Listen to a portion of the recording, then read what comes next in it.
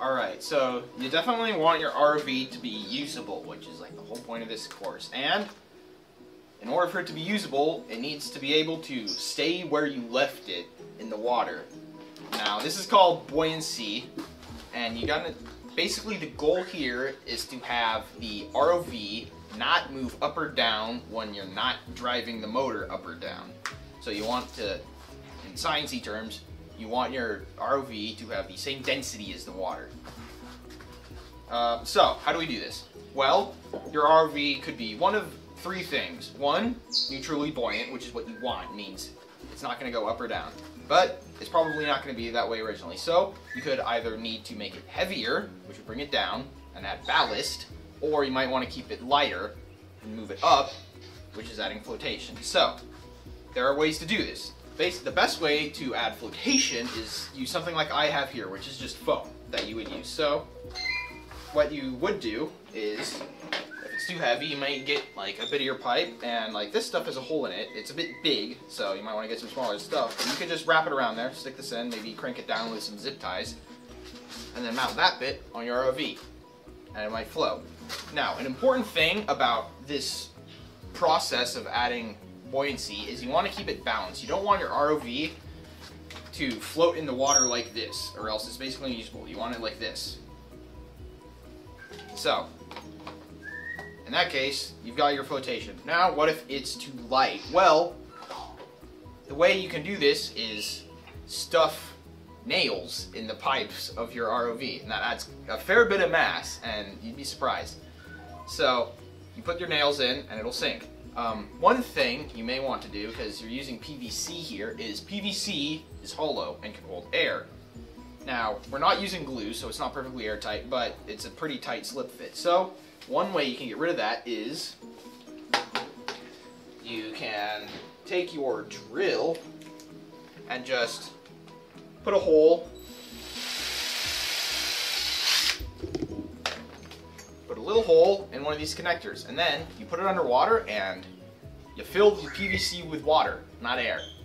So that way you get rid of the air and one big thing about problem about having air is maybe you're too heavy and you want air, but all your air is just gonna go to the highest place it can, which is gonna lift your ROV up by one corner and that's no good. So while you may think it would be good, it would be rather unfortunate. Now, the other thing that you may not realize, but you really want, is you also want your tether to be neutrally buoyant, or else it's going to drag your ROV through the water. So, in this case, we've got, first, we'll do a little blurb on how to make your tether. In this case, we've got our video cable and our main Ethernet cable, which runs the power down. So, the quick and easy way to do this what we're going to do here is obviously you line this up better, but this is just for demonstrative purposes. You just get your wire, put it next to this, put them together, and we've got a pile of zip ties here, so why not use them? And put this on backward. There is a right way around to put zip ties on. Break it down, and now look. You got a tether, and just do this along the whole length. It doesn't need to be like every two inches but enough so that they don't float around hanging apart like this. Now, once you've got your tether put together, you can just... Snip off the extra. Yes. And as always with your zip ties, you don't want this big tail hanging around, so just get down low. Wire cutters, look, it's all good and clean now. But like I say, you want your tether to be neutrally buoyant. So you can get more of this foam, take some scissors or a box cutter or something, and cut just a little bit off the end. And that's a closed cell foam, so Yes. it won't fill with water. You preferably have your foam closed celled because open celled means stuff can get it's open. Equals sponge. Yes, stuff can get into it, so it'll get waterlogged and then it's no longer foam. It's just mass filled with water, which will actually bring you down as opposed to floating you. So scissors are not working too great, so we got a box cutter.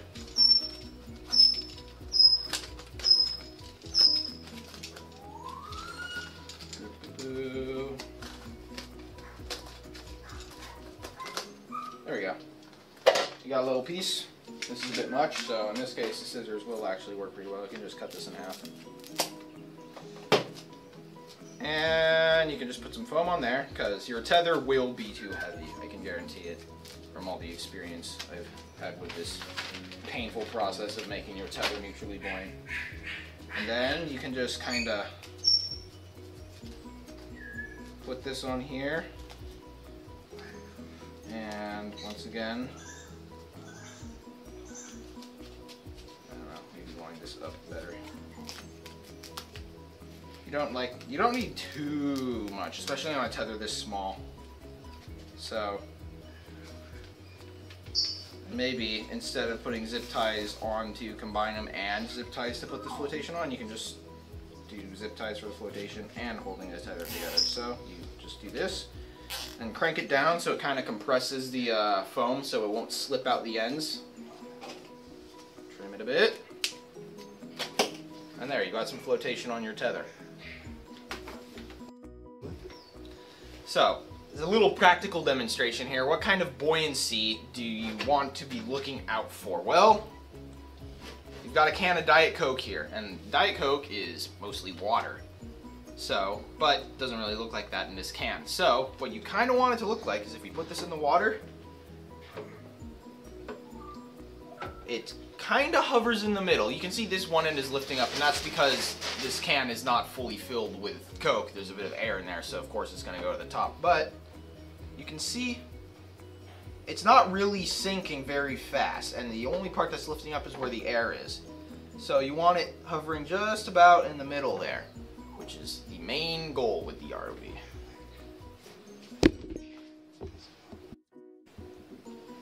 As I mentioned earlier, this also is a good demonstration of why you don't want air in the pipes.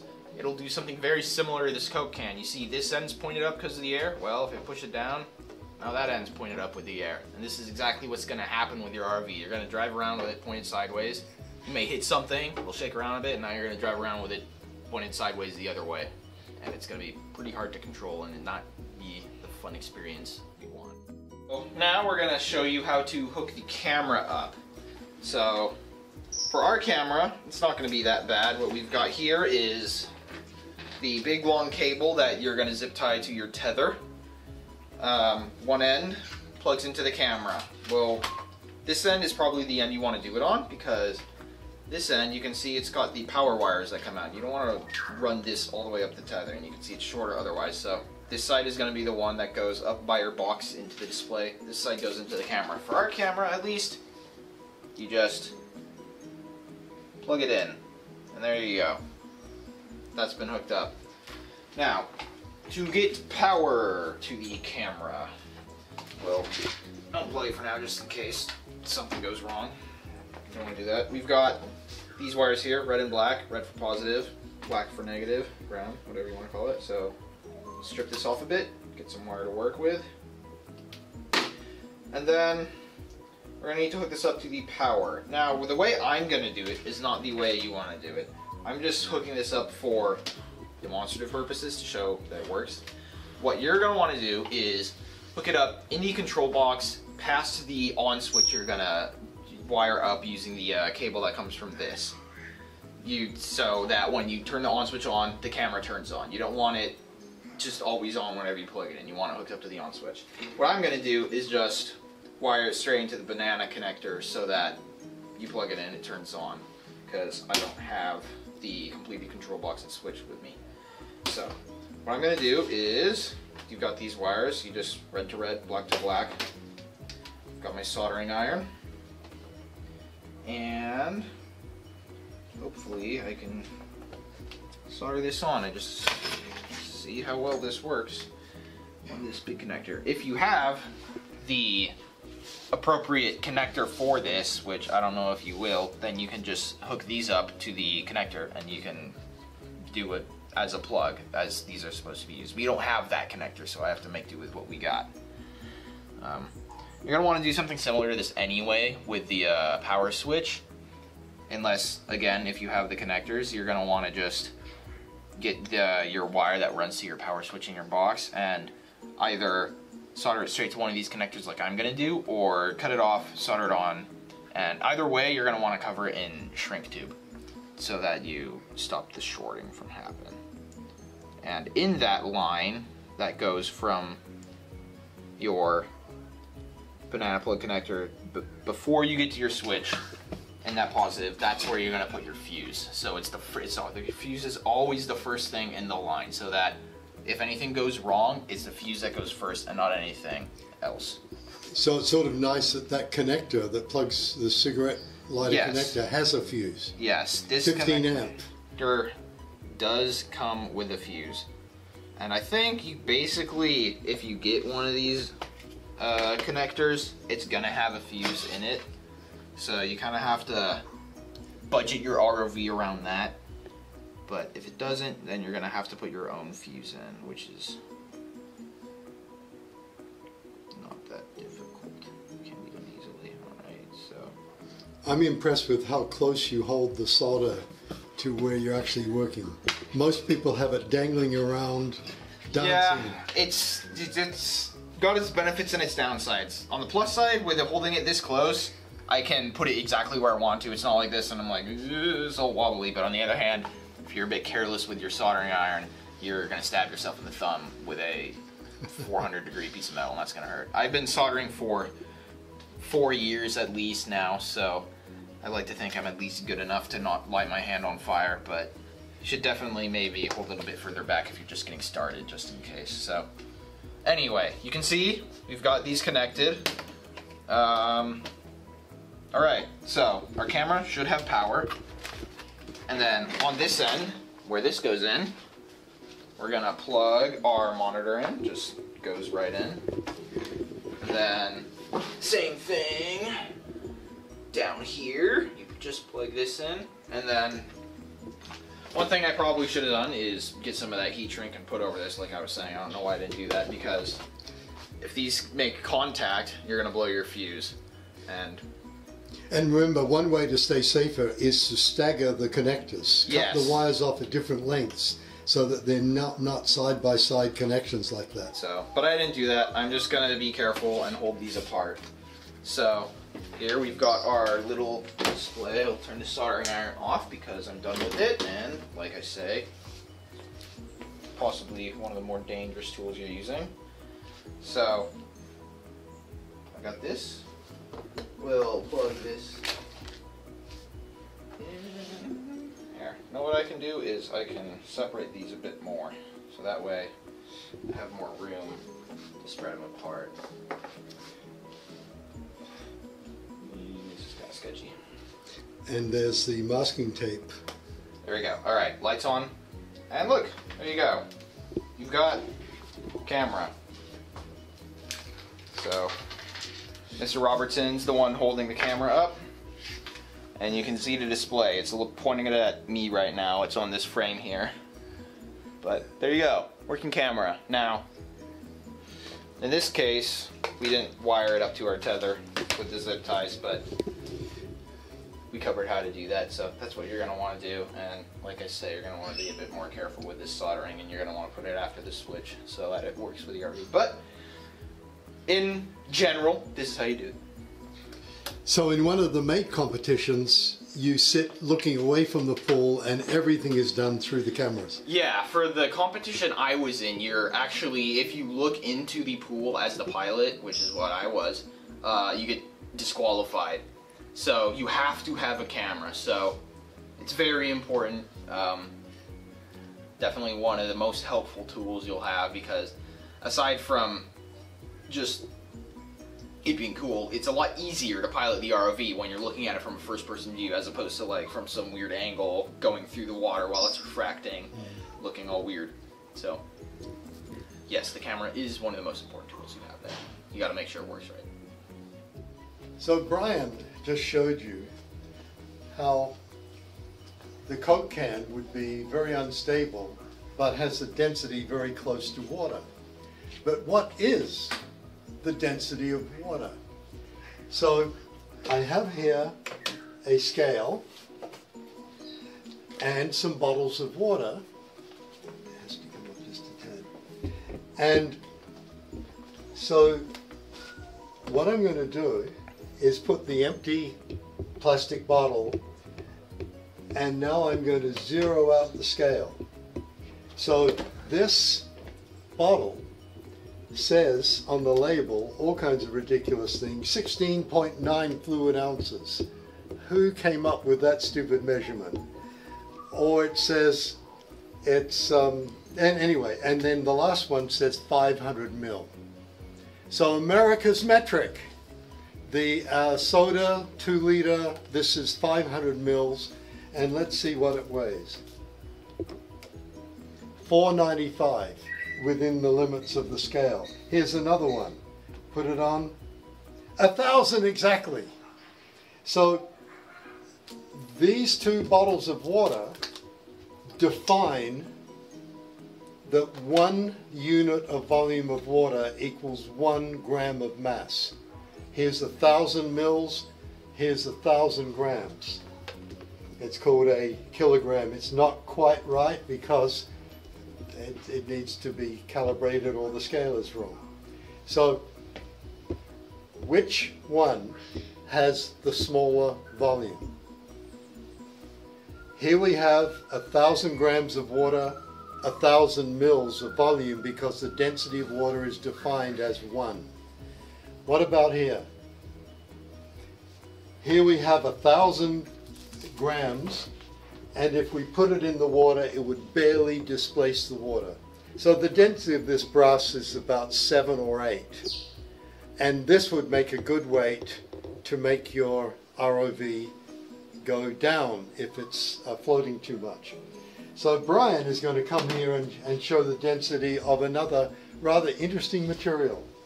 Here we go. All right. So this is my first experience with this since Mr. Robertson is an old science teacher. He has access to questions. You mean I've been teaching science for a long time? Yes, yes. Old is in retired and does substitute. so, amongst these interesting elements he has access to is mercury, which is infamously A, toxic, and B, infamously dense. It is extremely dense. So I've never handled this before, but he's got a rather large bottle of it here. So let's let's. That's about two thousand dollars worth of mercury. Yeah, this is my first time picking it up, and I don't really know what to expect. Okay, wow, yeah. So, it's heavy. Um, basically, yeah.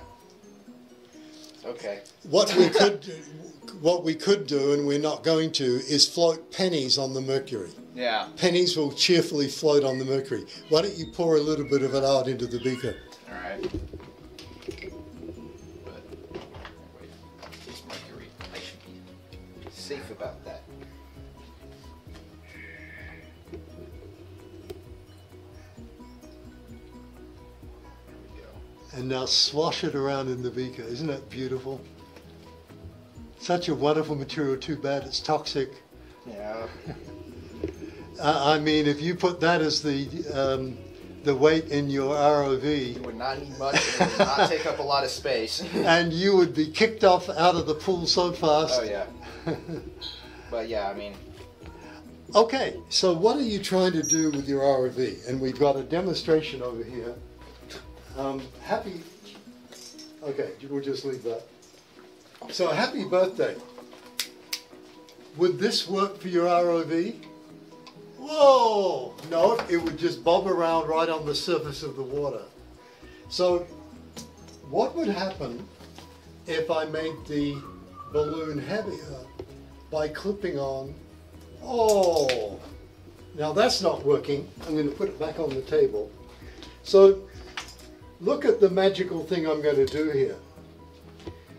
Here's a hookup wire and some of the wire is on the table. So I'm going to go snip. Boy, these are cheap wire cutters, as Brian just discovered. Hmm. Not quite enough. Not bad. Let's see. Whoops. you flinched it.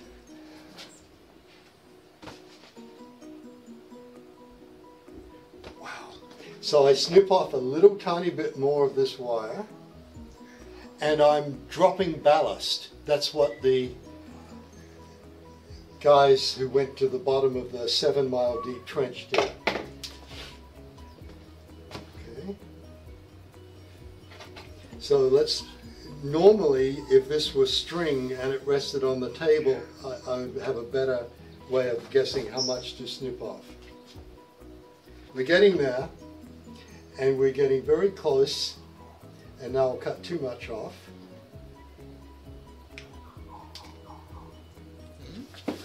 And is that what you want for your ROV or the Goodyear blimp? And now I've got wet hands and I touch the balloon and down she goes. So we're that close to having perfect buoyancy. And what you would want to do with your ROV is err on the side of having it slightly less dense than water so that um, your thrusters drive it down and you do your thing and then up she goes. Okay? So we can get exactly the same density as air by adjusting the helium, the weight of the balloon, the weight of the tether, and end up with perfectly neutral buoyancy except the balloon is wet because I put water on it. So why build an ROV? Okay, it's fun. You get to use tools. You get to make mistakes and try and figure out what to do. So here's a, a globe representing the planet Earth. Going up takes you out of the atmosphere and SpaceX and NASA and we got a space station and we're going to go to the moon and Mars. And we're spending billions of dollars to do it. But how thick is the atmosphere? And the answer is, shockingly, the Earth is only 8,000 miles across, and our atmosphere is about as thick as the paint on this globe. In fact, if you go three and a half miles high, half the Earth's air is below you, and half really spread out is above you. Airplanes regularly fly higher than three and a half miles because the air is so thin they can go fast and not burn as much fuel. But if anything happens, oxygen masks have to drop down for the passengers. So we as humans have wanted to go up, up, up, up. How deep is, look at all this blue stuff. How deep is the ocean? What would happen if you went down three and a half miles deep?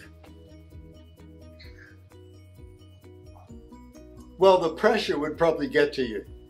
You'd probably have to go deep in something that would keep the pressure at what you're used to here. How about if you went to the deepest part of the earth, somewhere over here? Any guesses how deep the ocean is? It's about seven miles. And can you imagine the pressure when you're seven miles deep? If you go completely out of the atmosphere, you're in a vacuum.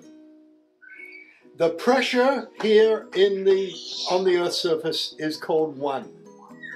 One atmosphere of pressure. If you go 34 feet deep in the ocean, or 10 meters, that's the same pressure as the entire Earth's atmosphere. So if you went 34 feet deep, the pressure is double. If you go another 34 feet deep, maybe some of you have done scuba diving and have gone deep, it's really something. You tend to pop to the surface, so you need a weight belt. Can you imagine going seven miles deep? Well, some brave, brave people many years ago tried to go to the depths of the ocean. And they made it. But then they had to come back. So, what do you think they did to try and come back to the surface?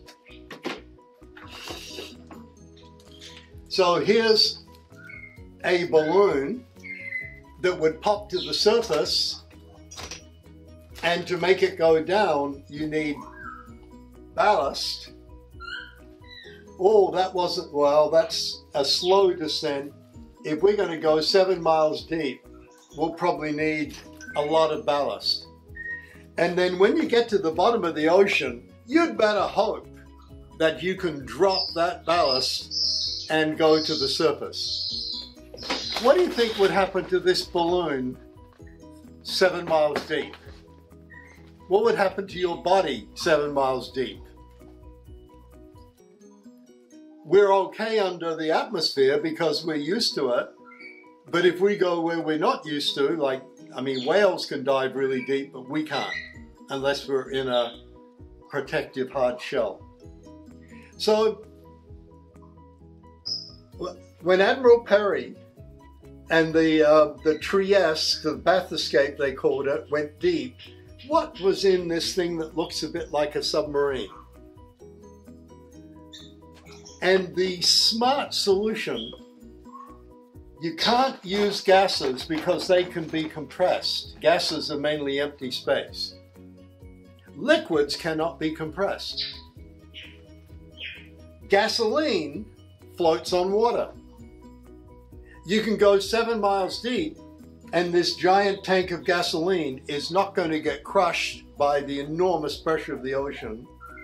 You're in a round steel container with a tiny glass window, hoping that you're not going to get squashed flat. And then when you drop the weights, the gasoline is less dense than the seawater, and up you go. So, what is the density of the seawater?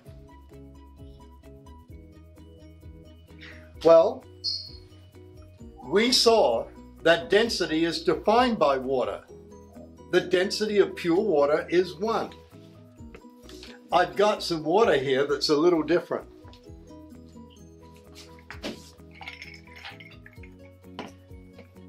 Is this water? Here's a glass of water. What's going to happen? Oh, Water's amazing. But when it gets colder, it gets bigger. Ice floats on water, which is totally, totally amazing. So the water at the bottom of the ocean is generally cold, but it doesn't freeze solid because when water gets really cold, it floats and the ice forms at the top of the ocean. So when you float, you do it by displacing your own weight of whatever you're in. So this helium balloon and the balloon is able to easily displace the, its own weight of air because helium has a lower density than air. Here's some mercury. Whoa, amazing stuff, sloshing around. The reason it's so dirty is I used to float lead on it, and the lead dissolves in mercury. Here's our kilogram mass. What do you think's going to happen? Whoa, the kilogram floats easily on mercury. In fact, you can tell that its density is a lot less than mercury. In fact, you can Google this this is about eight-ish because brass is different elements. It's um, an alloy. This is 13.6. So what would sink in mercury? Gold. I've done it. Gold plummets to the bottom of the mercury. Its density is about 19. This is 13.6. But then an amazing thing happens the mercury dissolves in the gold. It's a liquid metal and it dissolves in the other metal. And when you bring your gold ring out, it looks like it's white gold. It looks like mercury. And you have to dip it in concentrated nitric acid to dissolve out the mercury and have your gold ring back. So you better not have any diamonds and stuff in the ring. So let's recap. The atmosphere is thin and everyone is busy getting out of the atmosphere and studying the universe up there. Almost no one has been putting a lot of time and effort into going deep. ROVs are a relatively new uh, idea, and being and um, the oil industry with deep ocean oil wells um, has to use ROVs to go down and maintain them.